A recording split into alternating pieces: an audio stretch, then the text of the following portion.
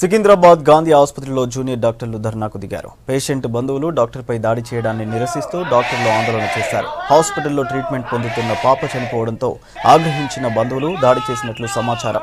పాపకు వాంతులు శ్వాస సమస్య రావడంతో ఉదయం చిల్డ్రన్స్ వార్డులో జాయిన్ చేశారు. ట్రీట్మెంట్ తీసుకుంటుండగా పాప చనిపోవడంతో బంధువులు హాస్పిటల్పై దాడి చేశారని డాక్టర్లు చెబుతున్నారు.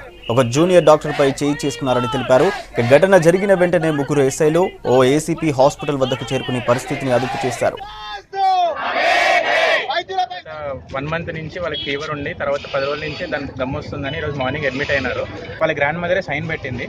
అది అయిపోయిన తర్వాత ఆ, బాబు పరిస్థితి బాగా విషమై విషమించిన తర్వాత మేము చేసి చేయాల్సింది చేయగ- చేయగలిగాం. కానీ సిక్స్ థర్టీ సిక్స్ థర్టీకి బాబు చనిపోయాడు. అది అయిపోయిన తర్వాత వాళ్ళ గ్రాండ్ మదర్ ఒక ఫైవ్ మినిట్స్లో మొత్తం డ్యూటీ డాక్టర్ డాక్టర్ కార్తిక్ మీద కింద పడేసి కొట్టడం జరిగింది. త- అట్లనే అక్కడ బయట ఉన్న మా ఫర్నిచర్ మొత్తం డ్యామేజ్ చేశారు. అక్కడ పది మంది కలిసి.